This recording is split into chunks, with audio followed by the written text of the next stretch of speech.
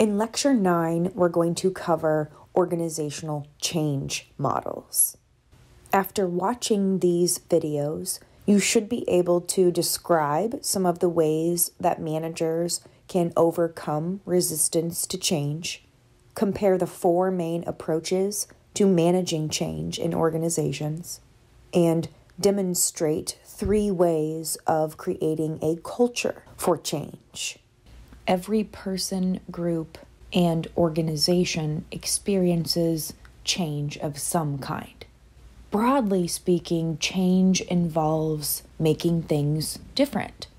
Managers at every level of an organization then have an opportunity to, to lead change and make the process more effective and more efficient. But change management is a complex process with a lot of moving parts many changes won't succeed.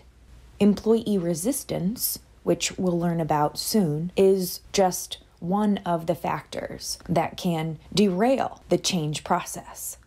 To increase the likelihood that changes stick and are sustained, managers should follow a few evidence based principles of change management. Some changes are accidental and unplanned. They just happen. Other changes are intentional, with goals for planning, implementation, and evaluation. We call this planned change. The first goal of planned change is to improve the ability of the organization to adapt to changes in its environment. It's triggered by external forces. Two, planned change tries to change people's behavior. The people who plan changes, who act as the leaders of change, are called change agents. They have a vision. They can see what the organization could become if the change is implemented. And they share that vision with other people. They get them on board, they seek their input, consider multiple options, and implement the change.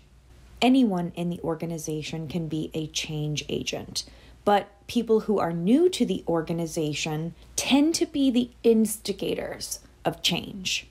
This is one of the benefits of recruiting from outside the organization, a fresh pair of eyes.